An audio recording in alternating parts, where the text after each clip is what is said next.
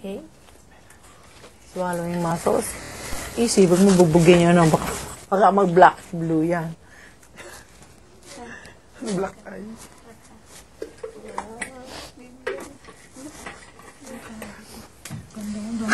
Pero sa mga lalaki, sa pagtanda ko, uh, dalawa lang nasa level ng 8. Lahat nasa 7.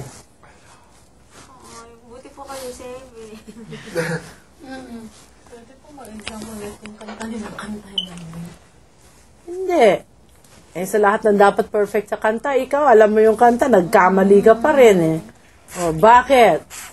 Sanang utak, wala sa exam. There's no take two in real life, that's it! So, either you do it then or not. There's a pwede take two, recording lang pwede yun.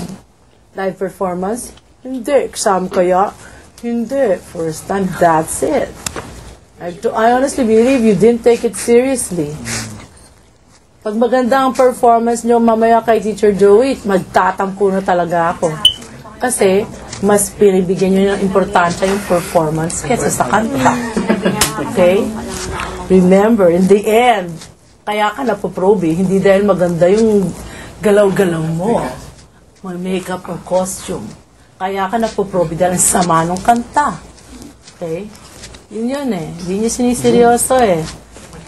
So now you better because you're all good. That's why you're here.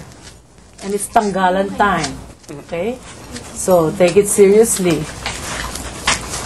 I will be very picky about you with the technique. Kasi kung hindi niyo gagalingan, ano pa ba ang babaan niyo pag, pag alis niyo dito? Wala na. Ito na yun. Okay? Larynx for those who are finished with the jaw.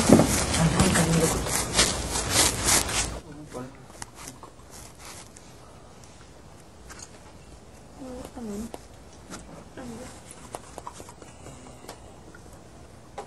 then neck.